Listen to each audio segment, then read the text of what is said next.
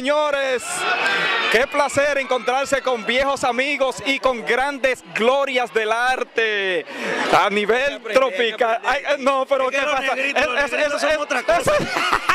José Alberto el Canario, mi hermano, ¿cómo te sientes? Bien, mejor de verte a ti, encantadísimo de estar en Lawrence y en estos prestigiosos premios. Me siento muy contento, muy agradecido de ser invitado y de venir a compartir con tanta gente linda. Nuestros latinos eh, se anotan otro honrón. Eso es así, eso es así. Háblanos un poquito, aunque sea breve, ahí de tu carrera, que, cómo, cómo estamos. Seguimos trabajando, seguimos cantando, seguimos viajando mucho, seguimos, pues qué te puedo decir, disfrutando de la vida, sintiéndonos bien. Cada día me siento más joven, Eso, sí- eso es así. celebrando 30 años de carrera, un disco nuevo que viene por ahí. Eh, ¿Qué más te puedo decir? Esperamos- Me pinté el pelo anoche. Espera- ¿Cómo me quedó el tinte? Ey, ey, yo creo que eso es natural, yo creo que eso es natural. Este hombre no es igual que yo, a este hombre no le sale una cana. Yo no sé cuál dónde no que te el lo pintas, te voy a regalar, Yo no sé te voy a regalar el tinte. Just Black. Number five. Te voy, a, te voy a regalar Oye, Canario, el video musical yo lo espero en más TV. No, no, ese hombre no está más elegante, el entrevistador está más elegante, que el artista. Oye, oye, a oye, Dios, oye, bueno. oye, oye eso, bueno, ese swing, señores, como decimos nosotros, ese swing de este artista, Francisco Céspedes.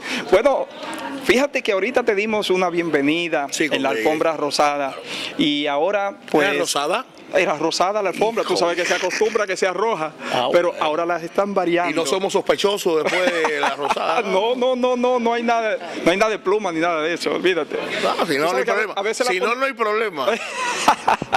Yo después de las 6 de la mañana no sé qué hago. Oye, qué bien.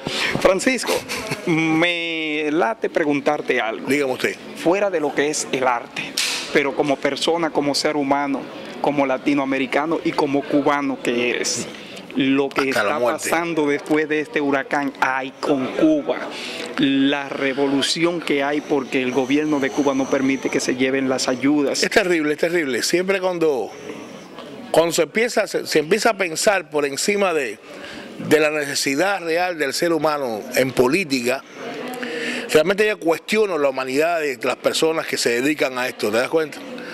Y, y en todos los lugares, allá en Cuba realmente, bueno, el gobierno que allá, que realmente cómo se va a negar en nombre de un bloqueo histórico, económico, una ayuda que puede llegar para aliviar la vida ¿eh? a muchas personas, hombres, mujeres, viejos, niños que no tienen, actualmente no tienen ni techo donde dormir.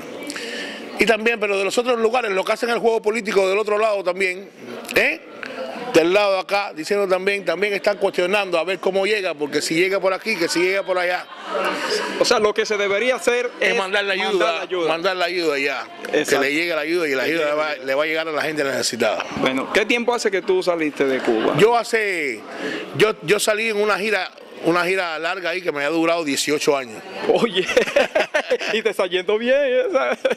Porque yo no me he ido de ningún lado nunca, porque mi corazón y mi alma están ahí Está ahí siempre. Cuba. y pensando en ellos, pensando en mi gente. Tengo familia, tengo muchos amigos, además, son los paisanos míos, donde quiera que se encuentren, siempre van a estar, van a tener una defensa de parte mía y, y que Cuba y es mi corazón y es mi palma. Eso es así, eso es así, así debe ser. Yo creo que todos los latinos y los inmigrantes en su mayoría tenemos Sí. esa característica de que salimos, pero siempre estamos pensando en nuestro lar nativo.